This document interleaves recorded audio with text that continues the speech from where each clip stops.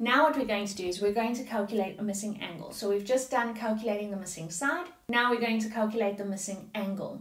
All right.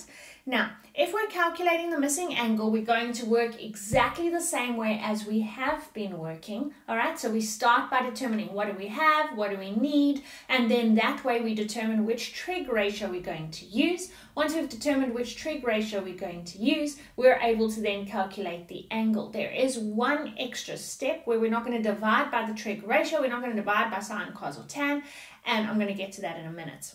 All right. So if we look at this triangle, it starts very similarly to what we have been doing. So I look and over here I'm given angle R, but angle R is now unknown. Angle R is theta. And PQ we're given and PR we're given. So now based on that angle, I'm going to identify that the 3.5 is the hypotenuse because it's the side opposite the right angle.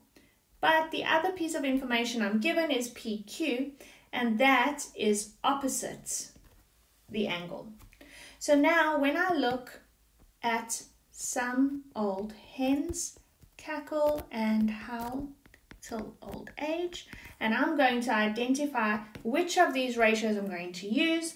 I've got the opposite and the hypotenuse, which means that I'm going to use sine. And I'm going to start by writing out my formula. So sine of the angle, so the angle in this case is r, so sine of angle r is equal to the opposite, which is PQ, over the hypotenuse, which is PR.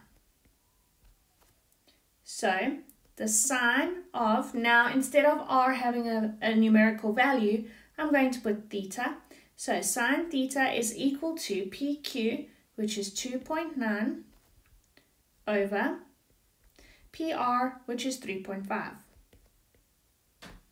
Now, you would be able to look at this, and if this were a normal equation and you wanted to isolate that theta, you'd want to divide by the sine.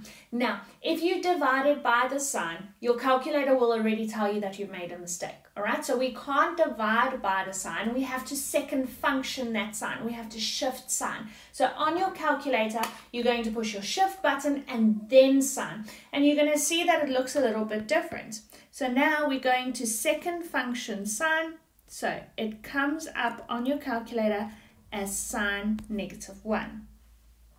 So now that means, therefore, that theta will be equal to, so what you do on your calculator is you push shift, sine, type in your fraction of 2.9 over 3.5, and you're going to get an answer.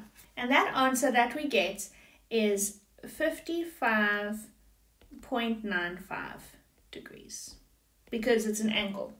However, degrees, angles, we want to round generally to one decimal place. So in order to round this to one decimal place, it's actually going to round to a whole number. So theta is therefore equivalent to 56 degrees. All right, pause the video quickly and you can attempt this your turn question. All right, now that you've attempted the your turn question, here is the answer. All right, next example. We have triangle EGF and we want to calculate the alpha. So now we look, what do we have? What do we need? So we have this angle F, we have this alpha, we have this length of 36.5, we have this length of 11.9. So now I just want to determine what those lengths are in relation to the alpha. So the alpha, if I look, I'm not given any information about the hypotenuse because it's blank. So that means that I have line GF and GF is adjacent next to the alpha. And I'm also given the EG, which is the side opposite.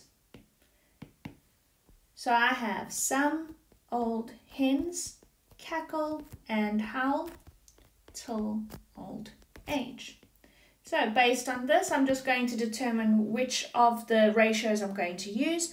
So I'm given the adjacent, so that could be cos or tan, and I'm also given the opposite. So that means that it's tan. So now I'm going to use my tan formula. So tan of the angle, the angle that I'm given or referencing from is angle F. So tan of angle F is equal to the opposite over the adjacent. So the opposite is side EG over the adjacent, which is side GF. So now I have tan of angle F, but angle F is unknown, so I have tan of alpha equal to EG, which is 11.9 over GF, which is 36.5. Now I want to solve for the alpha, so that means that I can't divide both sides by tan. What I'm going to do is I'm going to shift tan, arctan, second function tan, so I have tan negative 1. So I type that into my calculator, shift tan, so therefore alpha is equal to shift tan 11.9 over 36.5 to one decimal place, and I get an answer of 18.1, alpha is an angle, degrees. All right, pause the video and have a go at this your turn question. All right, once you're done with the your turn question, here's the answer.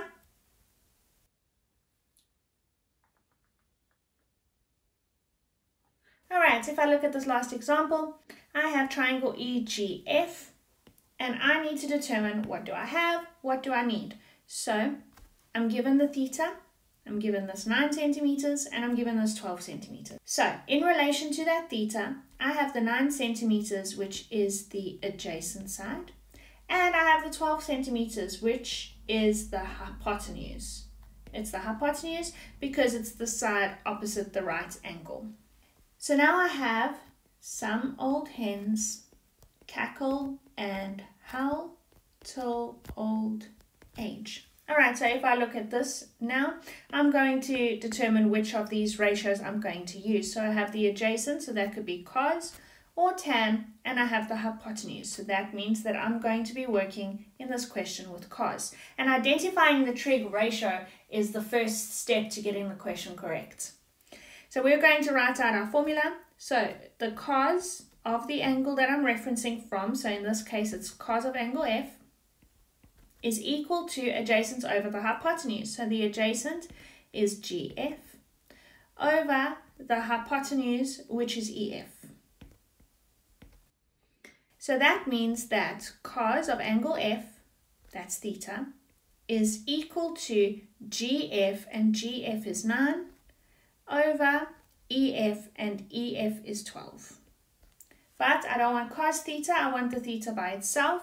I'm not going to divide by cos. I am going to shift cos. Second function, cos. So on my calculator, shift cos 9 over 12. And therefore, theta to one decimal place is equal to 41.4 degrees because it's an angle. Please pause the video and have a turn at the your turn question. Alright, now that you've done the attempt, here is the answer. I do hope that you've enjoyed this video. I do hope that it's helped. Stay tuned for more videos on trigonometry. Remember, the more you do, the better you'll be.